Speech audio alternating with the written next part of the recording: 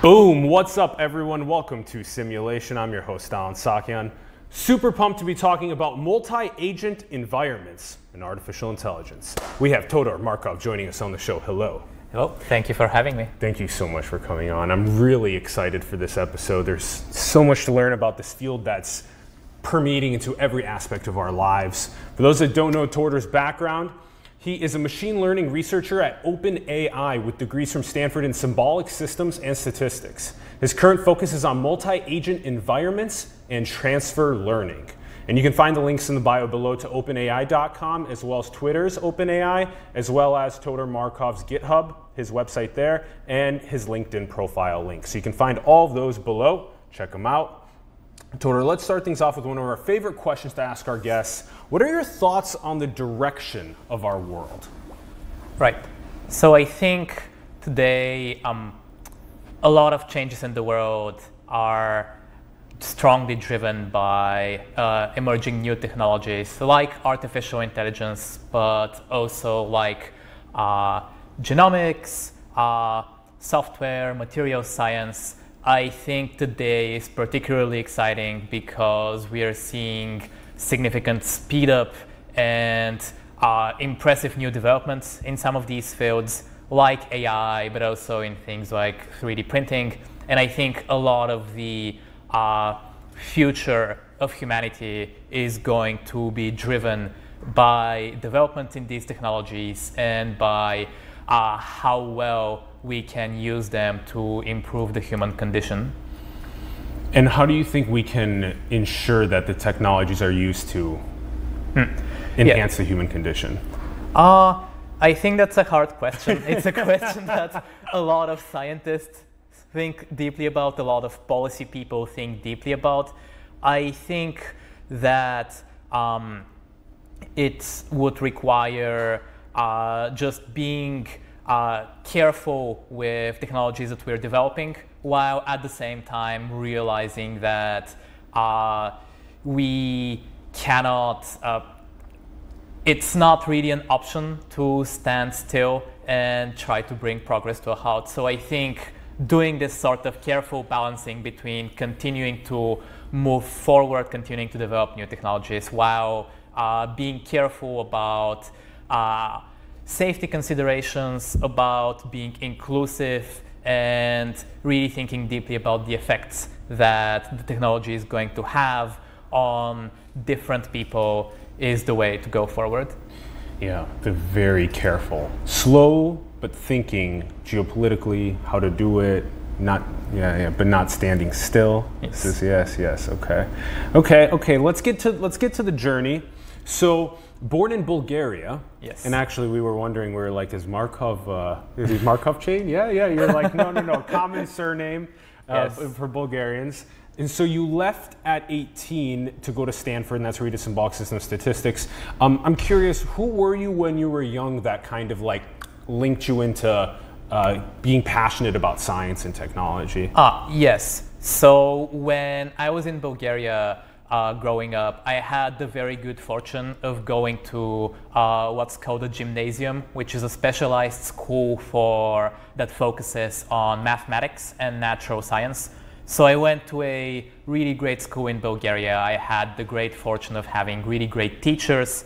Uh, I did a lot of contests in Bulgaria, both uh, in math, both nationally and internationally. I got some great mentorship from uh, the team leads for the national math team in Bulgaria. I got some great peers, great friends from that experience. And uh, that's how I got really passionate about math and science and new technologies. And that's also how I decided that I wanted to study abroad for college because a lot of other people who were competing uh, had done it and they had great experience doing it. So I decided that, hey, I want to do that too. It seems cool. And here I am.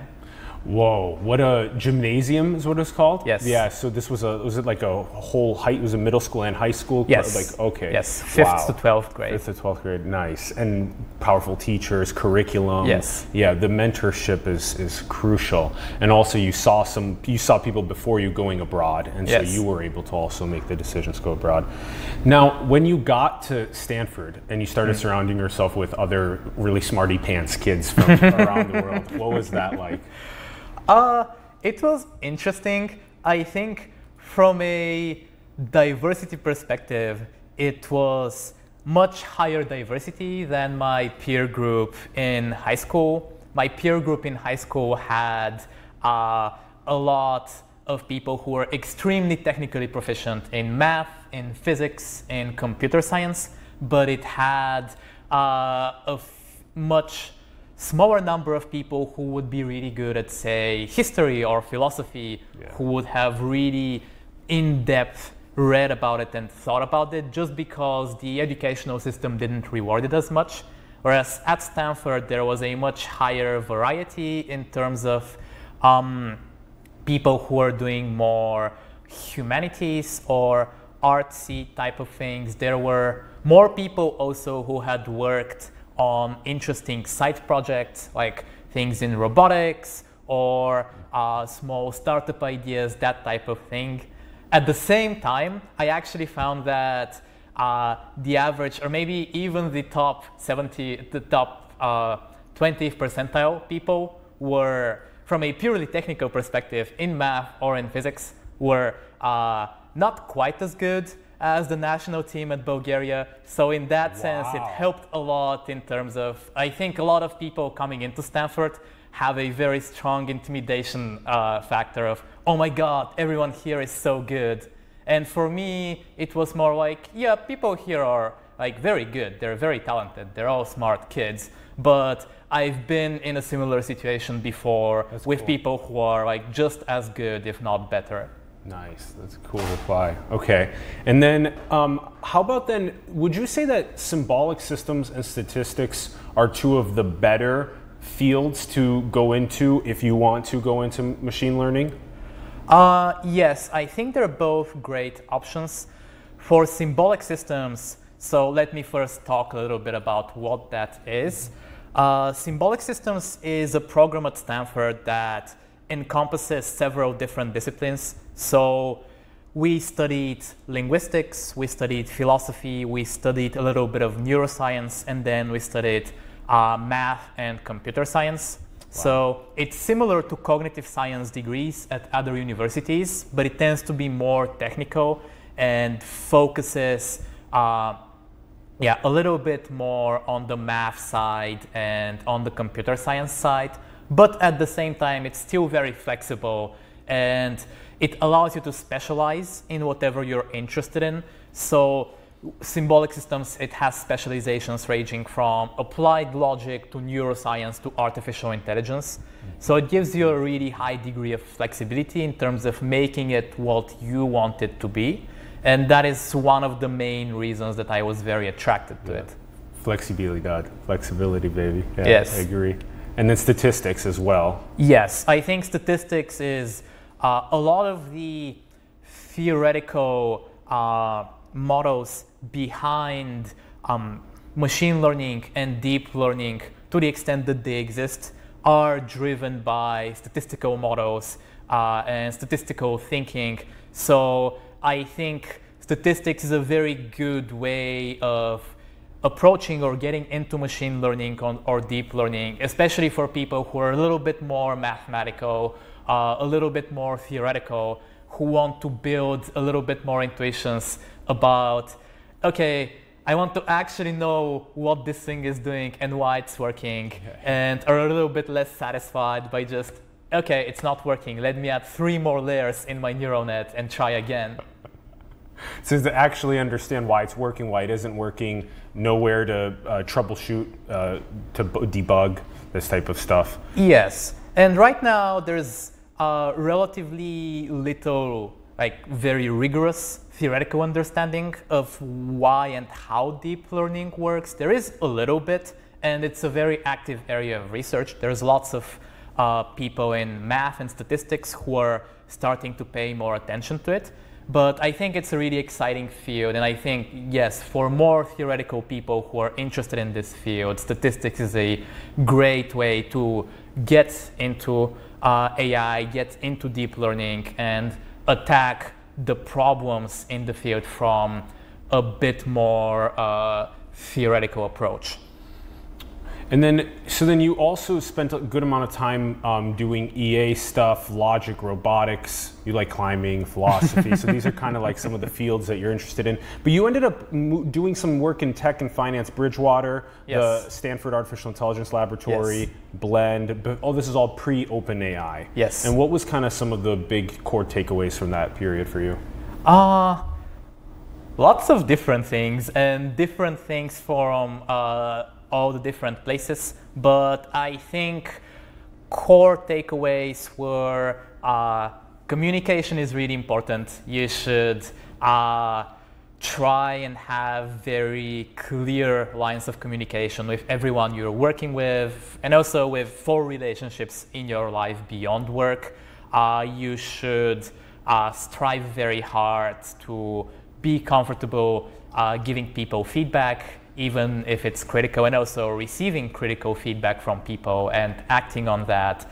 Uh, and on a more uh, practical project-based level, I think uh, those experiences were very useful for me in terms of uh, picking up skills like uh, how to learn things on your own effectively, how to take a big, vague project, break it up into bite sized chunks, and then execute on those chunks one by one.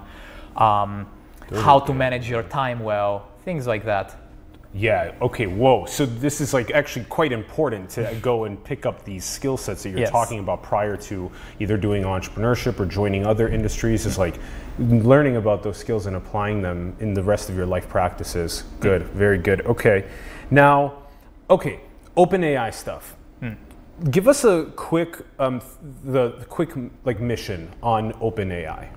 So OpenAI's mission is to develop artificial general intelligence. So artificial intelligence that is human level or above in uh, any task of uh, economic or intellectual interest to humans. And we want to do this in a way that's safe and in a way that is fair, such that the benefits from uh, this artificial general intelligence are fairly distributed across all of humanity and are not overly concentrated in a uh, certain set of countries or a certain set of shareholders to the exclusion of other people. Wow. Yeah. That's huge. This, see, this is why the, when we were saying earlier, OpenAI has one of those those ethic core mm. ethics mm. that is safety and fairness. Yes. And this is a big part of some of the code updates that we're having is this inclusive mm. stakeholders. Yes. That this is not just for extremely wealthies and rocket off. This is for all of us to go from triangle to circle on the planet, the decentralized yes. infrastructures that are coming in. I love that part. Um, okay, now let's get into um, let's let's start breaking down some of this work. You guys have been you guys have been actually like blowing everyone's minds um, with with creating um, which right now are narrow um, mm. artificial yes. intelligences that are beating uh, humans at what we used to think couldn't happen. Um, Dota 2, yes. StarCraft. Um, these games are, and here and here we have some example videos where we're actually going to be talking about how these things work. And yes. one of the core parts is the competitive self play component. Yes. So competitive self play is a key idea right now in how uh, AI systems, especially in competitive games like uh, Go or Dota or StarCraft, are developed. Uh, it was originally the first big example of competitive self-play was AlphaGo back in 2016 when it defeated the, uh, the world champion Lee Sedol. And everyone was super shocked because many people did not expect that to happen for at least 10 years. And the key idea, so AlphaGo wasn't trained entirely with competitive self-play, but a lot of its training was self-play. And the key idea is very simple. Uh, the idea is that if you have some sort of competitive two-player or even with more than two-player uh, game, you're just going to have the same agent continuously play against itself and slowly get better that way.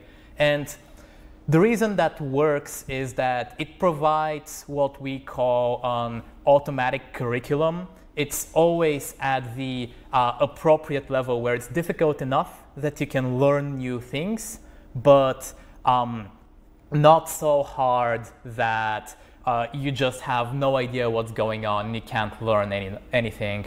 So if I had to draw a comparison, if you were uh, learning to play chess and you are a mid-ranked level, if you're playing against, say, your six-year-old nephew, you probably wouldn't learn that much. And if you're playing against Bobby Fischer, you probably also wouldn't learn that much. But if you're playing around someone at your level, then that's when a lot of learning is actually going to happen. And competitive self-play is one way to induce that sort of appropriate difficulty level where it's hard enough that you can learn, but not so hard that uh, you're just stuck and don't know what to do. Yeah, that part's critical. This is like when adults play with children mm. and it's not the adults bring down their skill level yes. to the children's skill level so yes. that the children can learn just keep winning at about the same skill level that they know and a little more but the crazy thing is that you can then do that over and over again. So as it incrementally learns, it's continuously going up one level, incrementally learning times millions of plays. Yes. And this is what's crazy. When we take millions of plays at Go or StarCraft, it takes us a lifetime. Yes. But millions of plays for you is a day. yes. Yeah.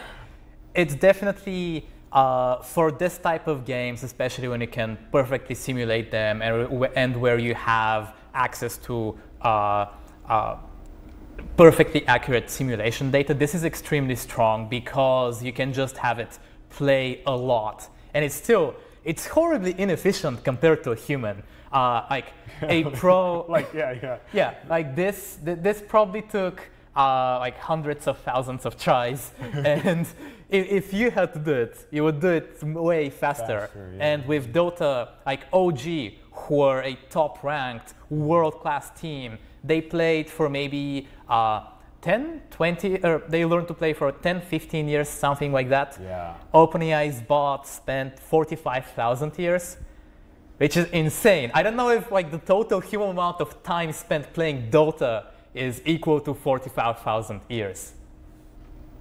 And it, 45,000 years was played in how much time? Uh, that was over uh, seven or eight months. Seven or like eight that. months. 45,000 years worth of gameplay. Yes. In seven to eight months. This is why the creative potential to learn things that even humans haven't tested in yes. given the scenarios and circumstances is just so much higher. Yes, and we did see that during the matches between OpenAI and OG, where OpenAI did some uh, very unusual strategies, which no one in Dota really does. So we did uh, like a very aggressive game, but also a very aggressive use of buybacks during the mid game, which I don't know of any other team that has used this in the past. And uh, from looking at interviews with OG after the match, and also actually just talking with the contractor teams that we've had that were testing the team for us, we found that, or playing against the bot really helped them tighten up their game and explore new things, get new ideas for how they can improve their own game. Yeah. So I think that really also highlights the potential for AI to uh, act together with humans and help them learn and help them improve and get better at the yeah. things that they care about. Yep, yep. The um, the hybrid potential is yes. very, very beautiful. I want to ask a, a, couple questions on the technical side. I think it's important to at least break this down. Um, what, what are the environments where you're, where you're designing? Um, this, is, uh, this is CAD, computer aided design? Uh, this one, I'm guessing, is a reskinned version of MuJoCo, which is, Uh, yeah, MuJoCo stands for uh, multi-joint control, multi-joint and it is control. a fairly, it's a very good physics simulator that's very popular for um, AI research, especially for research in robotics, because uh, it's uh, yeah, it's a reasonably accurate simulator of uh, that models lots of different real-world physics. It's not perfect, clearly, but it does a very good job. Does, yeah. it has uh, good support, and uh, lots of researchers really like it. I like it. I think it's good.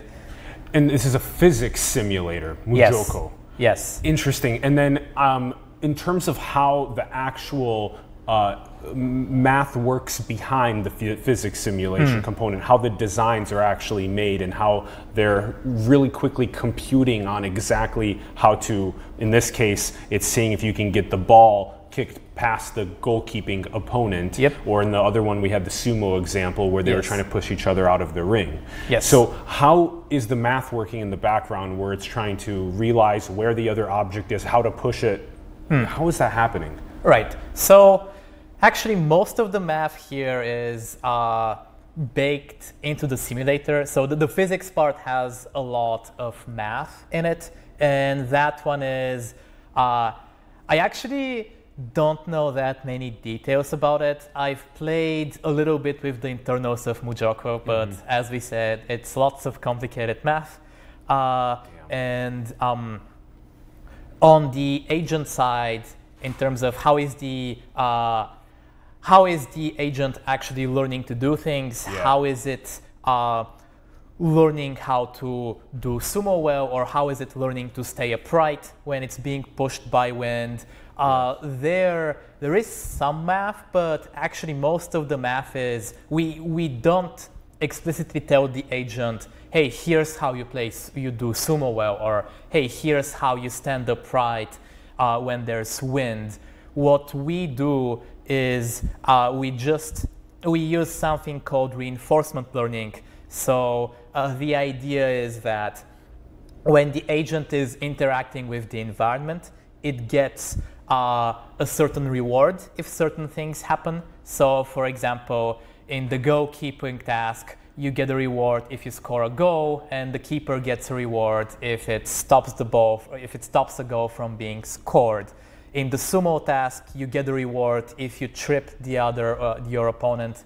In the wind task, you get a reward if you don't fall down. Mm-hmm, so mm-hmm. you have these rewards, and then you have an update rule, which um, it varies depending on the specific algorithm it's doing, but the general idea is that uh, you tell your agent, hey, here's how you learn based on uh, how, how you do a small learning step based on what you did in this episode and the reward that you got. Mm-hmm. And mm-hmm. so the basics are somewhat simple. There's still some math involved, but uh, I think it's the math there is relatively simple compared to the math in the physics simulator.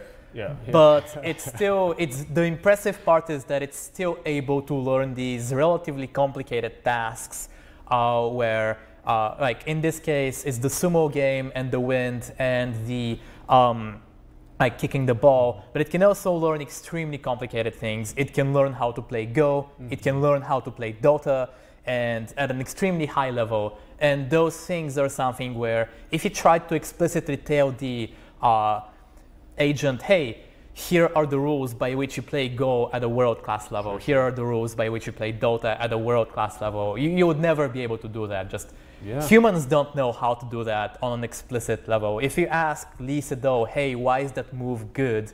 Uh, he can point at some um, general insights, but um, it's not something where you can write a checklist and then by following the checklist you can uh, play Go well. It relies a lot on intuition and implicit representations. And I think it's very impressive that this type of simple learning rules can yeah. learn these very complicated intuitions, these very complicated internal representations. That you can create an aware character agent in the physics simulator and then uh, as they do something like prevent this person from running past that line, that they get rewarded, and they know Yes. that then that is a behavior that I should continue. Yes. Very similar to us as agents in this world as well. When we do something like exercise or choose a healthy food option, or when we uh, achieve a bunch of goals that we have set for ourselves, we get rewarded. And Yes. so these is yeah yeah yeah. So yeah. Anyway, we'll get to that question at the very end of the show. okay, let's. Um, did we we did the wind attack one too? Ron, did we do the second one too? This is the wind, or this is the, this is the wind attack, right? Yes. Yeah. Okay. So then, th- so this is this is putting a a uh, an, you're putting a vector of of of wind at like a certain degree of strength Yes. and asking the agent to stay on the sumo the platform. Yes. So the interesting part about this one is that actually this agent that's here right now is the same agent that was playing sumo before. So uh, the agent that was that was playing sumo, we took it out and we placed it in this new environment with wind, and it's never seen wind before. And we actually didn't allow it to train. We told it, here's this new environment, here's this new thing that you have no idea what it is, you've never seen it before, figure it out.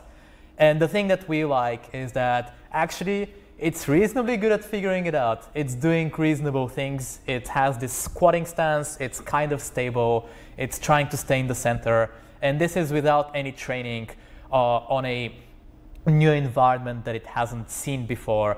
So this is an example of what we call transfer or transfer learning, where things that you have learned in uh, one environment that you've trained in, then transfer in a different environment with somewhat different dynamics. So as we see here, it turns out that the things that you learn for staying upright in sumo, for not getting tripped over, they also help you if you don't have another opponent, but if you have winds Wind. that you need to deal with. That's so cool. This is like the kind of the first incremental steps towards trying to generalize uh, Yes, narrow exactly. Yeah, that's beautiful. Beautiful example. Okay, and then the next one is this. Um, the you guys had an what was it? An, an ant, uh, a bug, and a spider with Yes. two legs, four legs, and six legs. Or two legs. Sorry, four legs, six legs, and eight legs. Yes. Yes. So this work uh, was something done by my team, uh, multi, the multi-agent team at OpenAI. I think about a year or two years ago, around that time frame. And the idea here is that you have um, two different algorithms. Uh, one is just a regular deep reinforcement uh, learning algorithm, and the other is a meta learning algorithm, which uh, can learn and adapt based on uh, within an episode what the other agent is doing. So uh, initially, this was uh, for this work, we had a population of uh, these different algorithms who are also controlling these uh, different robots. So the four-legged reg- leg robot, we call it an ant. The six-legged green robot, we call it a bug. And there was also a eight-legged robot that was called a spider. So the bug is the strongest one in terms of physical strength. Uh, so things like how much uh, force can Okay. you apply on your, on your joints. And the spider was the weakest one. Uh, and so we ran these multiple algorithms with running on multiple robots, on robots in uh, a tournament league Yeah, where yeah, yeah. we uh, uh, ran evolution on that league. So agents and algorithms that win uh, got to survive and replicate, and agents and algorithms that lost uh, would continue uh, would be pruned and eliminated. That's the fifth asset, Ron, if you want to bring that one up. Um, so that shows, like you were just describing, that over time you can actually see which agents are the winners in all of these different simulations that occur. Yeah. And over time, one of the models beats out the other ones, and that's the Yeah. It's called the meta meta ag- model agnostic meta learning Yes. algorithm. Yep, exactly. So we see here that spiders don't do as well because they're weak, but also uh, meta learning, the meta learning algorithm does better than the regular algorithm. And also there's a difference here in terms of uh, model architecture versus uh, like whether the architecture of the neural net you're using is has aware of is aware of time of what's happened uh, during the wrestling before, or whether it just uh, treats every time step individually. So being aware of time also helps a lot, and agents who are aware of time end up doing much better in this tournament. Uh, but yes, something that was interesting here that we thought was important is that uh, even with the ant, a weaker agent, uh, the meta-learning algorithm was still stronger and better by a bug controlled by a regular reinforcement learning algorithm. Mm-hmm. And so, uh, yes, the broad idea behind meta-learning algorithms yes. is that they're learning how to learn. Uh, they can learn how to do different tasks qu- quickly. Uh, they can adapt to new circumstances quickly. And uh, this was one uh, small but I think still important example of why this matters and how this helps you uh, perform better in uh, competition with other agents, but also potentially on other tasks that you might care about. Versus a reinforcement learning. Versus, well, meta learning is still technically technically a reinforcement, reinforcement learning okay. algorithm, but it, it's a specific approach to it, which okay. uh, has advantages over regular algorithms. It also has some disadvantages. They can sometimes be slightly less okay. stable. It can be hard to get them to work, but uh, I think it's an exciting area of research within reinforcement learning. So the edge of knowledge has been pushed in reinforcement learning, and now we're going even further and seeing which algorithms of reinforcement learning are good at whichever tasks within that within that field. Uh, yes, or we're thinking about how usually most algorithms uh, of reinforcement learning they're good for many different tasks. So the same algorithm that uh, plays Dota, it can also learn to uh, use a robotic hand to manipulate a cube. Mm-hmm. And it has no idea what environment it's working that's on. That's the same reinforcement learning algorithm? Yes. The same one that's, so that, so that, that, that does then generalize. Uh, sort of. So sort it's of. not the same weights. It's not the okay. same, uh, like the model itself is, the learned model is different, but if you start from a novel model, the same algorithm that learns how to play Dota, it can also learn how to control the robotic hand. And it assigns weights to variables over time. Yes. Based on correct. the rewards. Yes. Okay.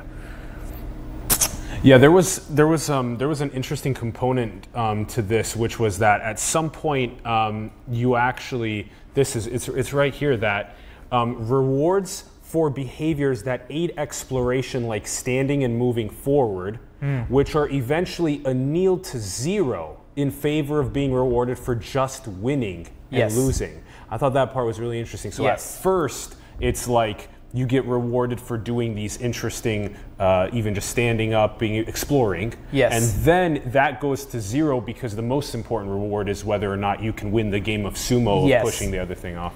Yes. So yeah, this is an example of uh, something that is a, um, a hard problem in reinforcement learning that is also an active area of research, which is uh, how to solve exploration problem and also sparse versus dense rewards, which is one approach to it. So in general, um, in reinforcement learning, we say that you have a sparse reward if uh, the reward that you're getting is relatively rare. So say you only win it, you only get reward once you defeat the other agent in sumo. Mm-hmm. And we say that you're getting dense reward if you're getting uh, a reward much more frequently, yes. like for example, reward based on are you still upright? If you're still upright, you're getting reward. reward. And there's a trade-off between those two things. Sparse rewards help you uh, be much more accurate in terms of targeting exactly the behavior that uh, you want to learn. Like mm-hmm. if you're playing chess, you care about uh, checkmating the other uh, the opponent. you don't necessarily care uh, what type of opening you're playing or mid game as long as you can checkmate your mm-hmm, opponent. Mm-hmm. But when the reward is sparse, that makes it harder for the agent to learn yeah. because in the beginning it's kind of doing random things and if it's hard to get the reward it may never figure out what is expected of it so if i were to draw a parallel here uh, like if you wanted to like if you had a dog and you wanted to train it to uh, do tricks you would not start with very complicated things because it would uh, it would never be getting rewards and go, it would go, never figure out what it like, needs to do. Like, you start with like fetch me orange juice. The dog would never yes, be exactly. So you want to start roll uh, over something like that. Yeah, you yeah. start with simple things and you gradually increase the complexity. Okay. And this is also what we did in the sumo game, where we started with simple things like, okay, stay upright, move towards the center of the um, room.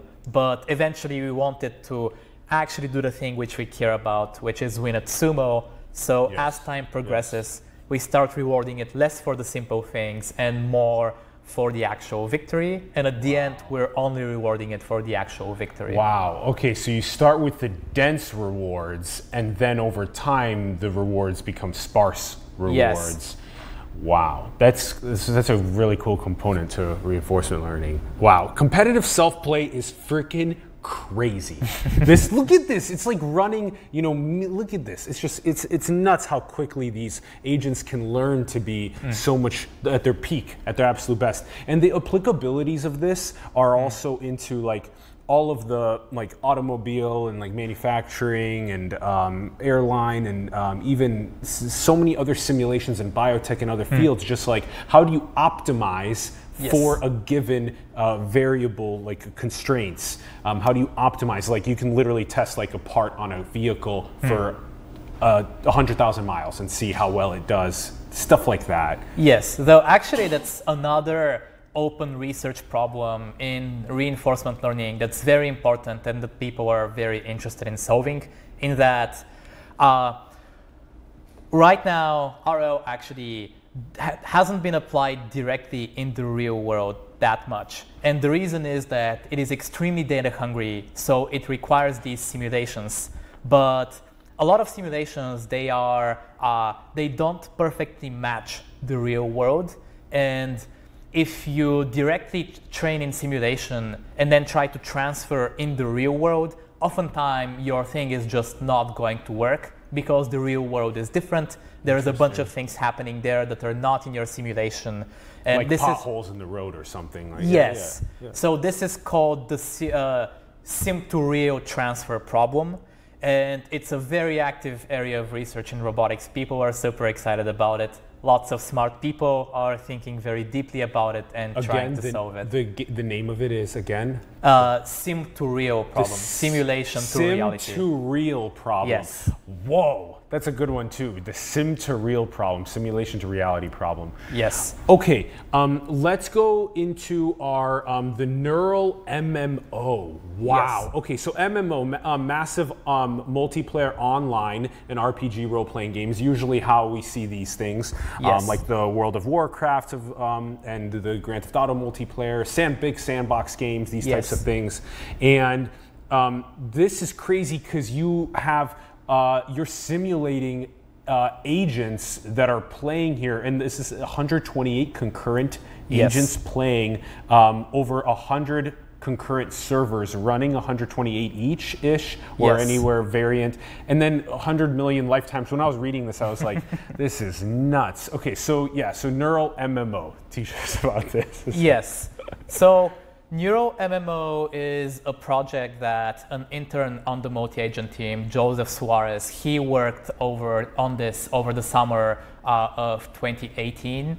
And so this ties in the uh, broader uh, mission of the multi-agent team, where the multi-agent team is interested, or we believe that uh, complex environments with large-scale multi-agent interaction lead to uh, the emergence of complex skills, complex behavior, and that also this behavior is robust and generalizable. So it's useful in many uh, interesting, cool tasks outside of the original environment that you're training with. So Neural MMO was uh, kind of like a proof of concept for this exact idea where uh, we wanted to test out a relatively simple environment with simple dynamics and see, uh, oh, if we have a massive number of agents interacting here, are we going to see cool stuff happening? Yeah. And we do see some pretty interesting things. Like a lot that- of camping around the edge. so much camping along Yeah. the edge. But Yeah. also exploration into the middles and Yes. stuff. Yeah, yeah. So some really cool things that I think for me were possibly the main takeaways from this work is that one, uh, agents which are trained with a larger numbers, uh, a larger number of other agents. Uh, also, to explain a bit how the game works, it's relatively simple. You have all of these agents. They're uh, walking around this map. They're trying to forage for food, and they can also fight with each other. And um, so we see even from this simple of an environment with a large amount of Ron, go ahead and pull up the seventh one, asset, as well. That'll also help you with this Yep. part of the description. Yeah, go ahead. Yeah, so you have the agents, you can see them fighting here, and also uh, I think there's food items around, lying around that they're trying to forage. And um, you see, um, we see some really interesting uh, behavior, some really interesting things happening, even from a relatively simple environment like this. So, one important thing that we see is if you're an agent that were trained in uh, competing with a large population, you end up being roughly stronger, uh, somewhat stronger. So, if you are trained uh, during your life with a hundred other agents, and then you're put in a server with uh, agents that in their life were trained with 10 other agents uh, on their map, then you end up being stronger and you're able to outcompete them. If you are trained with more other agents, you end up uh, exploring more, you walk around the map more, you're slightly better at foraging. Um, and a third thing that is somewhat related is also that um, when you train uh, different subpopulations of agents, you see these uh, geographical niches form where each subpopulation likes certain parts of the map and kind of stays there and tries not to walk into other popu- other subpopulations uh, niches so that it doesn't have to fight with them. Uh, whereas if you only have uh, one subpopulation, it tends to uh, roam more widely, and there are no individual niches that form. Whoa. So, so each one of the the, the characters uh, have uh, the, they have they're trying to weigh out. Uh, how close they want to be to other characters because then they can throw those items to take each other's health bars down. Um, Yes. Also, they have to forage for nutrients on Yes. the map.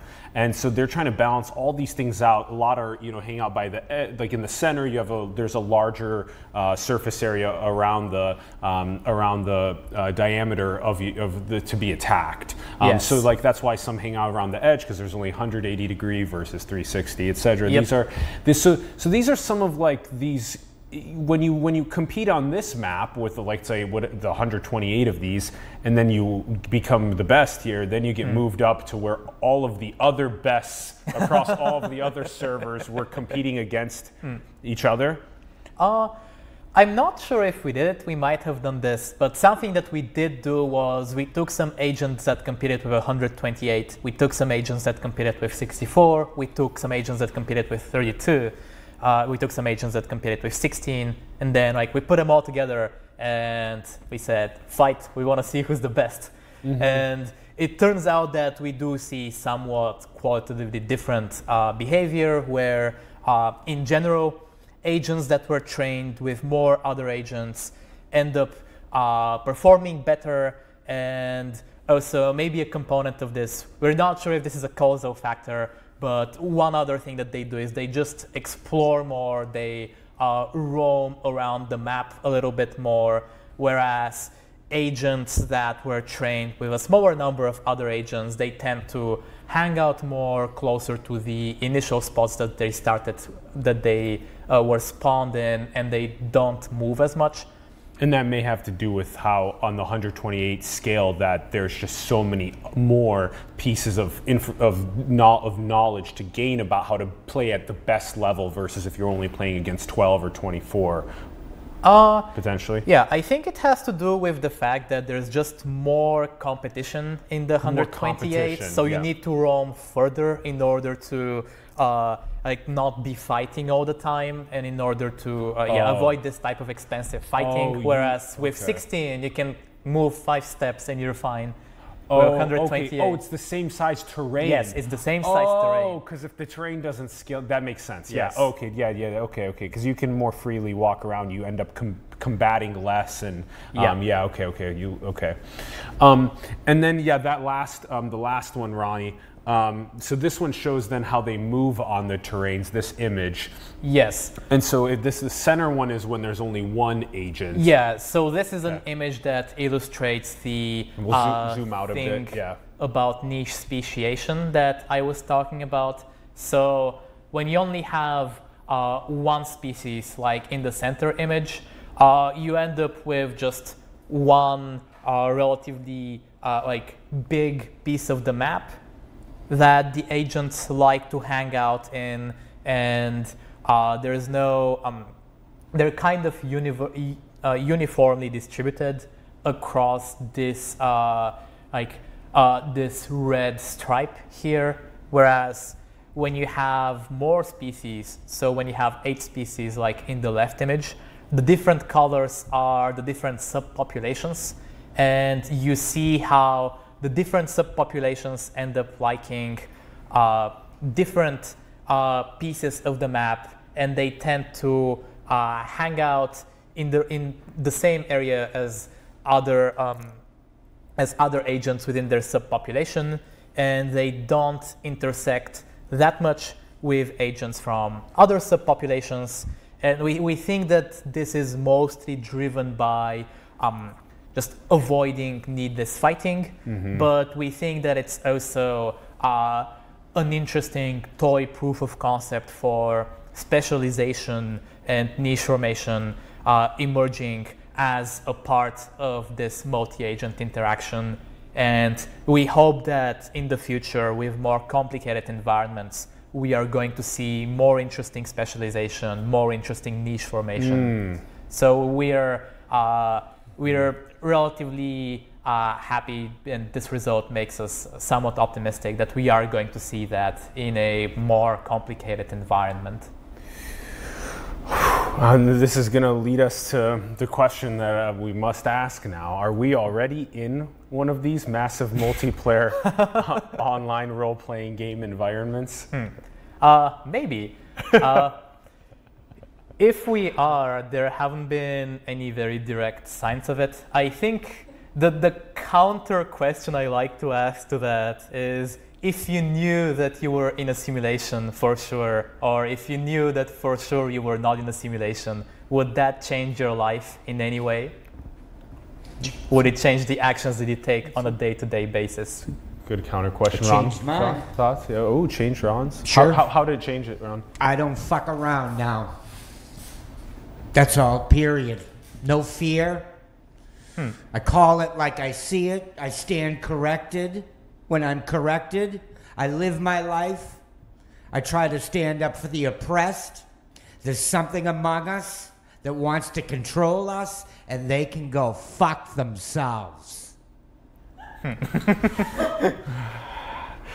Yeah, Ron. Yeah, yeah. That's, that's it. So, so the behavior has had did change. It did change once you once you learned. Well, at first it was. Don't get me wrong. It was frightening when you when you're aware that there's something much larger than all of us trying to work uh, through us to manipulate us to control us to do its will. Nothing less than uh, slavery all across the boards. And now that uh, the, the most uh, intelligent of us have realized that, uh, geez, something's trying to enslave us, and uh, you know, let's uh, let's let's let's let's try to beat it, and let's try to uh, speak out against it. And then when we do that, then we become enslaved as well. You know, it's so, looking for just ignorant people that speak confidently of shit they know nothing about. So this is the something beyond the three-dimensional realities taking its. Oh, it's m- yeah, multi-dimensional, way something, beyond 3D reality. So something multi-dimensional comes in through Earth. Uh, yeah, and through us. Through if us. we allow it. If we allow it. And then and then if and then so this is the realization then that Ron is talking about. And Todor's question may seems like it was maybe somewhat I think related, but also like. Um, in terms of this already being a simulation, in terms of this already being a massive multiplayer online role playing we're, game. We're cracking the code. We're hacking. We're hacking it, and we're doing it to the, the best for humanity, all of us collectively. Ron and I, about a, a, maybe a month ago or so, were just talking about as we continue hmm. to make these MMORPG simulations ourselves we gain a better understanding of mm. how we could potentially already be in one that is mm-hmm. being manipulated by the creators mm. of it. So that's why once you make really complex simulations using super intelligence, it's easier for us to look in the mirror and realize, well, that how is what is that already happening to us? Yeah. So these types of things, it's very hard to. Mm. Yeah, it's very abstract. We're still far away from it. All that stuff. But yeah, they don't like me talking like I just talked either. They get really upset. If I end up dead in the street later on today, you know why. There is also an interesting question around agency in that uh, I think if you're thinking about a simulation, it's um, usually I think it implies that whoever is running it is, I think it in a sense anthropomorphizes them or it assumes that they have a conscious experience or a certain set of goals.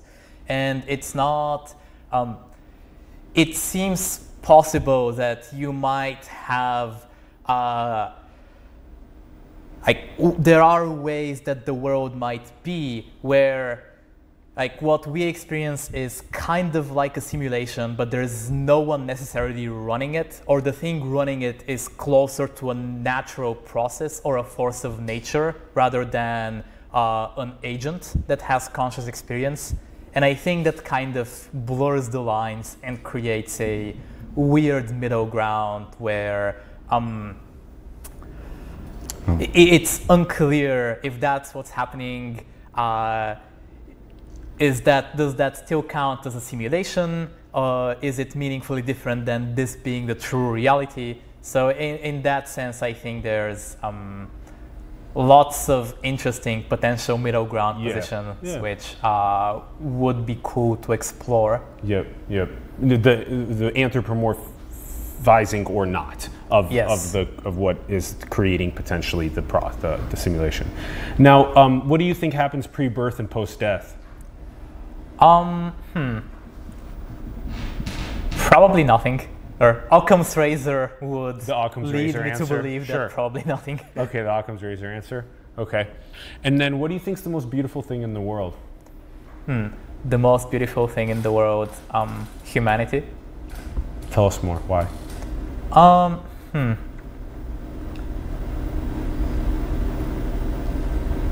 Oh, the most beautiful thing in the world for me is humanity, and I like humanity because, uh, well, I'm biased partly, but hmm, there is something aesthetically pleasing in a sense, or just the um, storyline of um, being confused apes stuck on a rock, floating through space, but still trying to do interesting things with your existence I think is cool and uh, it's kind of a rooting for the underdog vibe. the world is big and complicated and uh, not very nice or gentle, but humanity is still trying to uh, stick it out and flourish. So Rooting for the underdog. I love it. We find ourselves as stewards of Earth. Good luck. See if you can handle it. Can you all play together? Basically. But yeah, yeah, that's good. Yeah, it's it is very beautiful. It is. It is. Todor, this has been such an interesting episode.